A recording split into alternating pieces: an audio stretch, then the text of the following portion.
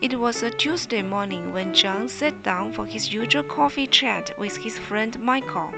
As they talked about life, the conversation drifted to the current political climate. Tensions quickly rose as their differing opinions led to heated arguments. By the end, neither had listened to the other. Dejected, John wished for more meaningful dialogues where people tried to understand rather than attack.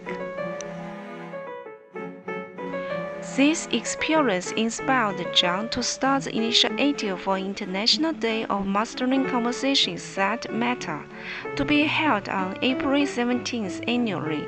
Launched in 2018, this day promotes skillful communication to bridge divides worldwide.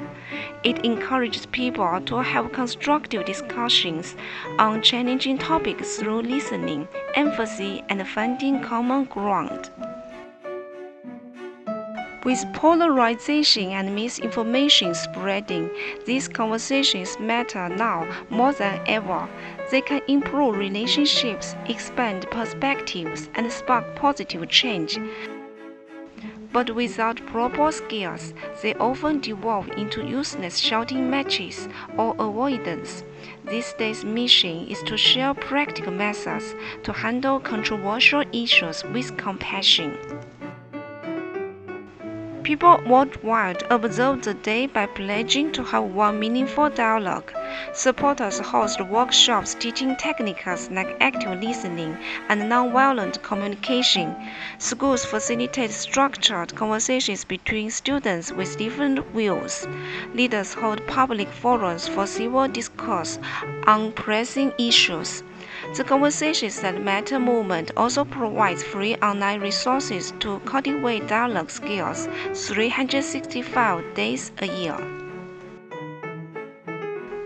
On April 17th, John reflects on how a single conversation inspired this global push for wiser interactions. He hopes that one day people will have the tools to discuss any topic thoroughly until then, he is proud that International Day of Mastering Conversations That Matter urges meanings each year to transform divisiveness into understanding through the simple act of talking and listening to each other. April 17 is International Day of Mastering Conversations That Matter. Here is a painting with oil pastels for this special day and have a nice International Day of Mastering Conversations That Matter. Cheers!